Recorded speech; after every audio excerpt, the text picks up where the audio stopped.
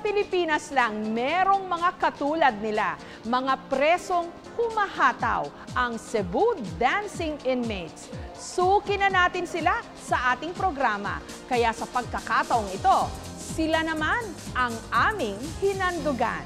Ang pinakasikat na mga preso sa buong daigdig. Ang Cebu Dancing Inmates ng CPDRC o Cebu Provincial Detention and Rehabilitation Center. One, two, three, four, five, six, seven, eight, eight, seven, six, five, four, three, two, Naabutan namin silang nag ensayo para sa kanilang newest dance routine. Malaki at ang ating room for improvement dito. Maganda yung setup dito ba sa ah, jail. Saka marami tayong di-introduce na, no, na mga livelihood programs. every last Saturday of the month, ito yung mapakita namin sa sa public na bago may bago kaming sayaw. Gayunpaman, dahil sa puspusang pag-iensayo sa ilalim ng tirik na araw, pawisan sila pagkahataw at ginutom. Napaisip tuloy kami, paano kaya inihahanda araw-araw na kinakain ng humigit kumulang 2,000 dancing inmates ng Cebu? Ang isda na is-serve natin, isang ano lang sa ano lang to, breakfast lang to. So pagkatanghali, iba naman. Pag dinner, iba naman. Ayon mismo sa mga namamahala ng kulungan, araw-araw, halos dalawandaang kilong isda ang kanilang nauubos at labing pitong sakong bigas ang kanilang isinasaing. Ang magkakosang Ruel at Macario. Hilig daw noon ang kumain sa labas. Pero sa maglalabing tatlong taon daw nilang pagkakapiit sa CPDRC, ang mga paborito nilang pagkain, bihira na raw nilang matikman. Ang kanilang tanghalian sa araw na yon, pritong isda at adobong manok. Ano, kare-kare? Namimiss ko yun eh. Siyempre ma'am, nami-miss din namin. Eh. Kung anong rasyon dito eh, ganun rin makain mo eh. Pero kung sa labas, kung anong gusto mo, yun talaga kainin mo eh. Minsan kumakain ako na lechon dito, may, maisipan, biglang maisipan ko yung nandun pa ako sa labas. O mamimiss ko talaga yung nasa labas. Ngunit higit sa pag-aasam ng masarap na pagkain, ang hiling ng mga iba ritong nakapiit. Katulad na lang ng isa sa lead dancers ng grupo na si Nelson. Mula nung nakulong, 2005, hindi na rin daw niya nasilayan ang kanyang mga anak.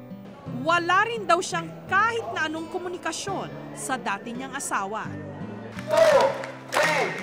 Kaya sa pagsasayaw na lang niya idinadaan ang nadaramang pangungulila.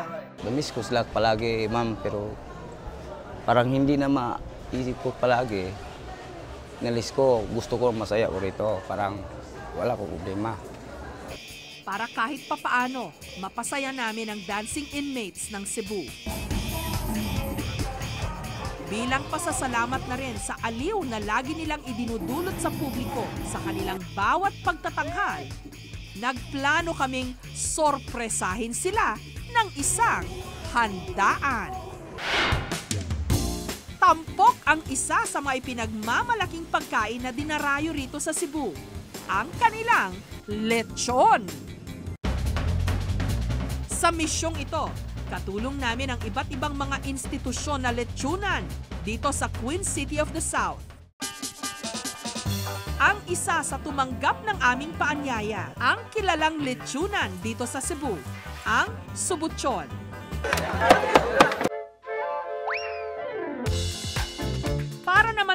Na mahirapan sa pagkain ng lechon, hatid ng Tatang's Lechon Belly at Cebu's Original Lechon Belly, labing isang Lechon Belly. Para sa sorpresang ito sa dancing inmates, tumulong na rin maging ang pamunuan ng CPDRC. Taliwas sa karaniwang rasyon ng kanin at ulam. Sa araw na ito, habang nag ensayo ang inmates, naglatag kami ng mahabang mga mesa sa quadrangle. Ang ilan sa kanila, nagsimula ng magtaka.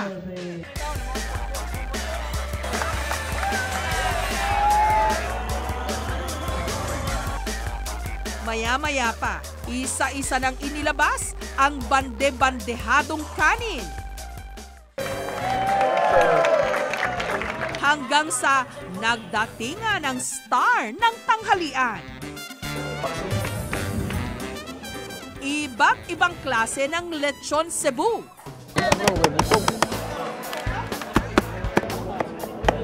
Ang mga preso hindi napigilang maghiyawan.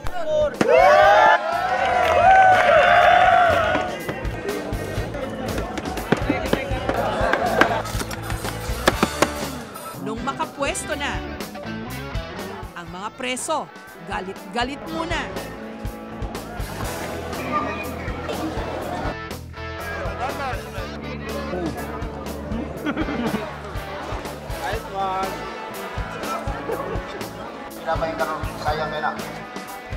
Si Macario, sarap na sarap sa kanyang paboritong ulam.